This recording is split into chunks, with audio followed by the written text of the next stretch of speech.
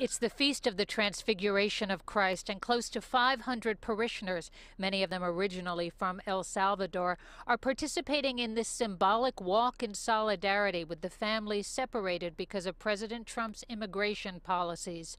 Among those participating in this walk, Cardinal Joseph Tobin, Archbishop of Newark. Pix 11 asked the Cardinal about the resignation of Cardinal Theodore McCarrick because of sexual abuse allegations. It's a sad day for the Archdiocese and I think beyond. Sad first for any victims that may have been harmed by the Cardinal or the former Cardinal. Sad for him, too. Cardinal McCarrick may be the first cardinal in history to step down from the College of Cardinals because of sexual abuse allegations. He does remain a priest until the outcome of the Vatican trial, but he lost his highest honor of advising the Pope and traveling on his behalf.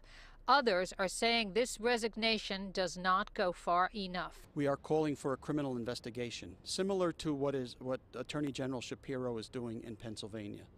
Uh, it is very clear that Cardinal McCarrick started in New York, came to New Jersey. Robert Hoatson is a former priest of the Archdiocese of Newark who was ordained by Archbishop McCarrick. He has founded a group called Road to Recovery that assists victims of the clergy sex abuse scandal, and he says he will continue demonstrating until he gets the answers he's looking for. We believe that cardinals and archbishops and bishops really know what happened with, with uh, Cardinal McCarrick and did nothing.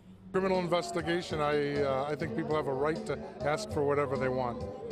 Do you feel there was a cover up in the church?